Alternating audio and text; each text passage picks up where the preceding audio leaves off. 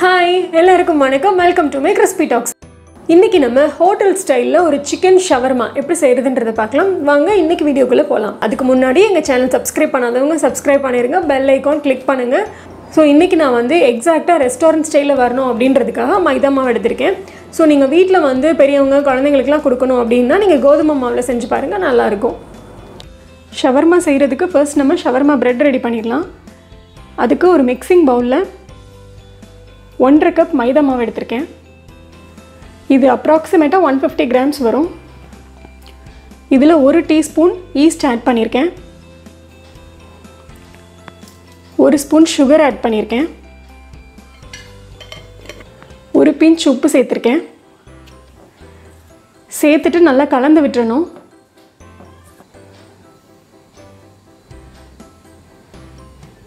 இதில் ஒரு கப் தண்ணி ஆட் பண்ணிக்கோங்க.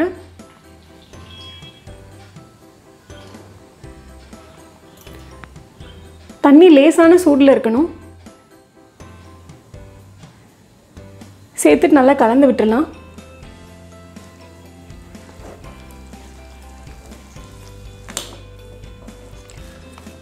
மாவை நல்லா பத்து நிமிஷம் அப்படி இழுத்து இழுத்து பிசையணும். அப்போ தான் நல்லா சாஃப்டாக வரும்.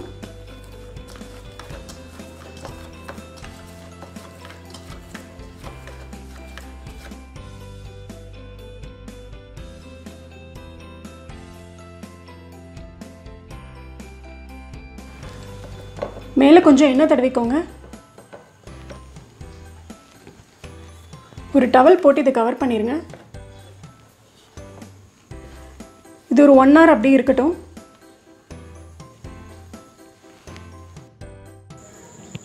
ஷவர்மா டோ ரெடி ஆகிறதுக்குள்ளே நம்ம சிக்கன் அப்புறம் வெஜிடபிள் சாலட் ரெண்டும் ரெடி பண்ணிடலாம்.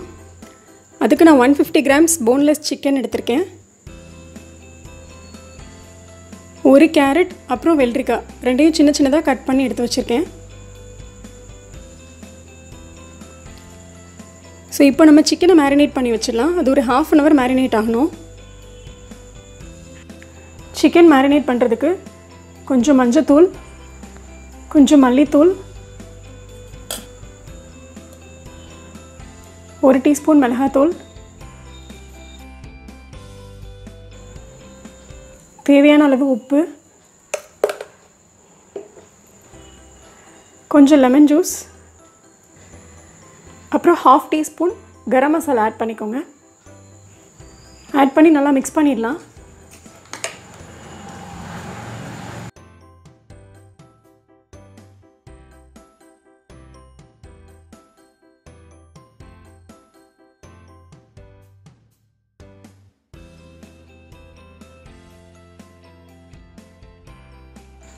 இது ஒரு ஹாஃப் அன் ஹவர் அப்படியே இருக்கட்டும். நெக்ஸ்ட்டு வந்து நம்ம ஷவர்மாக்கு சாஸ் ரெடி பண்ணிடலாம். அதுக்கு நான் ஒரு ஸ்பூன் கார்லிக் மயோனஸ் எடுத்திருக்கேன். மயோனஸ் ரெசிபி டிஸ்கிரிப்ஷன் பாக்ஸில் லிங்க் கொடுத்துருக்கேன். அது கூடவே அரை ஸ்பூன் டொமேட்டோ சாஸ் எடுத்திருக்கேன். இது நல்லா மிக்ஸ் பண்ணிடலாம்.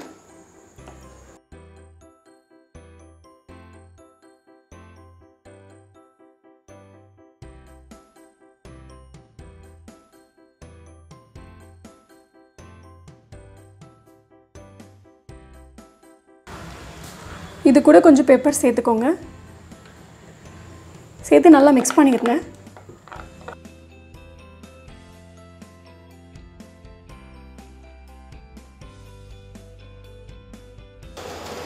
சிக்கன் நல்லா மேரினேட் ஆகிடுச்சு இப்போ அதை நம்ம ஃப்ரை பண்ணி எடுத்துடலாம். அதுக்கு ஒரு பேனில் மூணு ஸ்பூன் எண்ணெய் சேர்த்துக்கோங்க.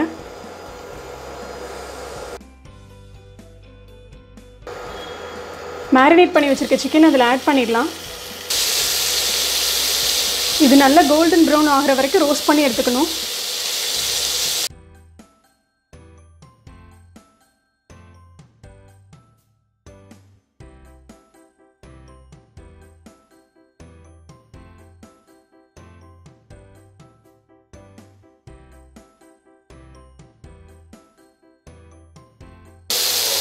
லோ ஃப்ளேமில் வச்சு மூடி வச்சிடலாம்.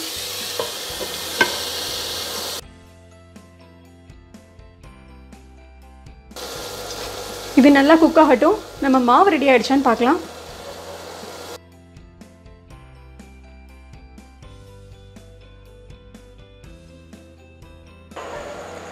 ஸோ நம்ம மாவு நல்லா டபுளாக ரெடி ஆயிடுச்சு.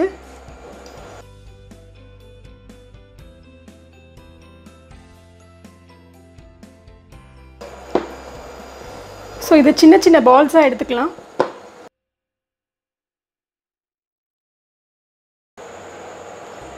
ஸோ இந்த மாதிரி நாலு பால்ஸாக ரெடி பண்ணி வச்சுருக்கேன்.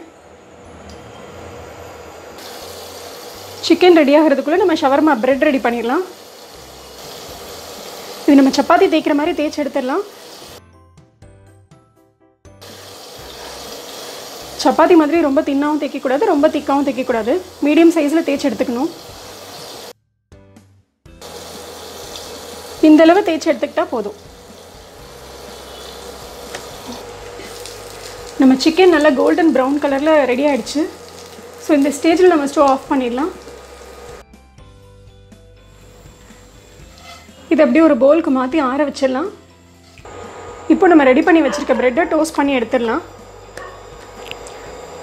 நல்லா பபிள்ஸ் வந்தோடனே இதை அப்படியே திருப்பி போட்டுடலாம்.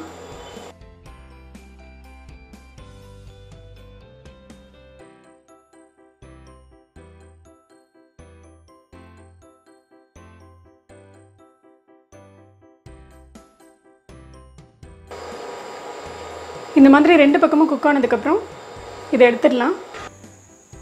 நம்ம சிக்கன் நல்லா ஆறிடுச்சு. இதை சின்ன சின்னதாக கட் பண்ணி எடுத்து வச்சுக்கலாம்.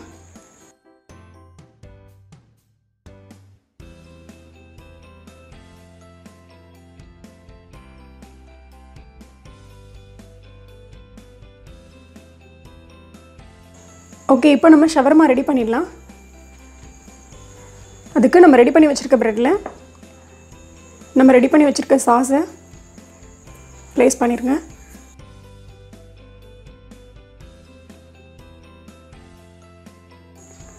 இதுக்கப்புறம் இதை நம்ம கட் பண்ணி வச்சுருக்க சிக்கன் இதில் அரேஞ்ச் பண்ணிடலாம்.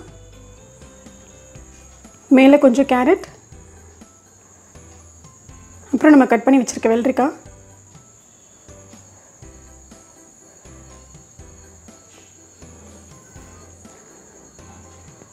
அதுக்கப்புறம் சின்னதாக கட் பண்ண ஒரு பெரிய வெங்காயம்.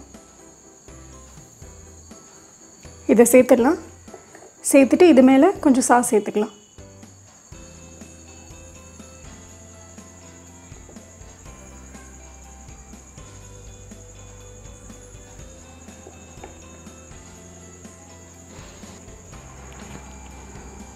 அவ்வளோதான் இதை அப்படியே ரோல் பண்ணிட வேண்டியதான்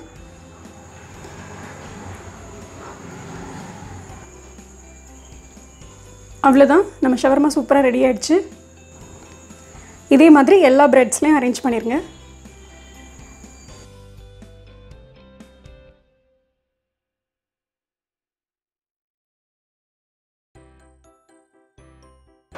ஸோ இது வந்து எக்ஸாக்டாக நம்ம ரெஸ்டாரண்ட்டில் செய்கிற டேஸ்ட்டே வந்தது. இதை நீங்கள் வீட்டில் ட்ரை பண்ணி பார்த்துட்டு டேஸ்ட் பண்ணி பார்த்துட்டு எனக்கு கமெண்ட் பண்ணுங்கள் பாய்